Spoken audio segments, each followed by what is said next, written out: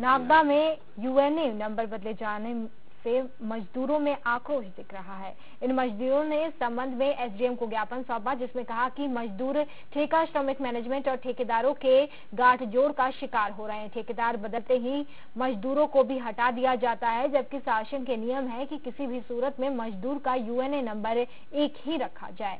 पहले भी विवाद होने पर विधायक की मौजूदगी में श्रम विभाग ने आश्वासन दिया था कि मजदूरों का अहित नहीं होने देंगे।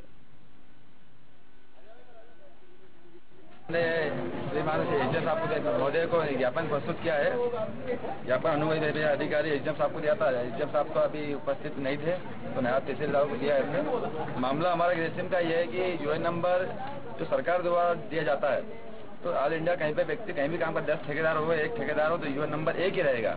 और यथावत अभी क्या स्थिति में ये काम माना मामला उचित हो रहा है, मामला गंभीर हो रहा है एक ठेकेदार के श्रमिक के, दो दो, तीन तीन यूए नंबर आए जा रहे हैं यहाँ पर। इस तरह के ठेका श्रमिक सभी परेशान हो रहे हैं और गंभीर रूप से मतलब चिंतित भी हो रहे हैं। तो हम आपसे निवेदन करना चाहते हैं आज निवेदन कह रहा है, इनको पंद्रह दिन का टाइम दे ज़्यादा था दस से पंद्रह दिन टाइम देगा, पंद्रह दिन में हमारा इस चीज़ का निराकरण नहीं होता है।